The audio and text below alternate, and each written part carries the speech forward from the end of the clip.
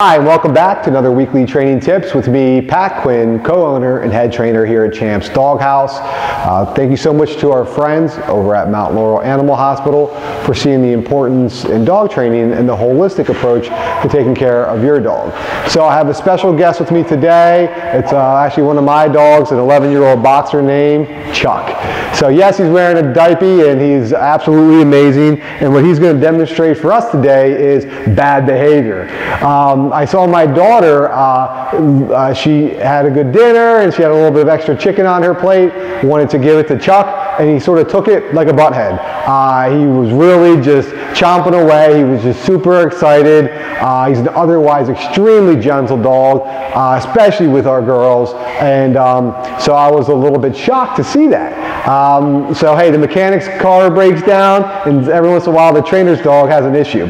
So you're going to see hopefully he takes it uh, like a little bit um, overbearing at first, and now what we're going to look to do is is um, teach him to uh, take his uh, his, his uh, chicken a little bit nicer, or dog kibble, or treat, whatever you're giving your dog. Well, that time he took it kind of nice. So we don't. If he's good for me and not my daughters, I wouldn't be surprised. You see how that time he took it nicer? You, when you put it down and they go to jump at your hand and, and to really just bite, nip your hand, whatever, the complete disregard for your hand, I want you to take your hand away. And then try again. They do it again, take your hand away. Remember, this is for a puppy, not an aggressive dog. You see the difference? So he wasn't that out of control, but hopefully you were able to see a difference, and maybe this time we'll be fine. That time he was fine. So, um, what this relates to is a food bowl drill.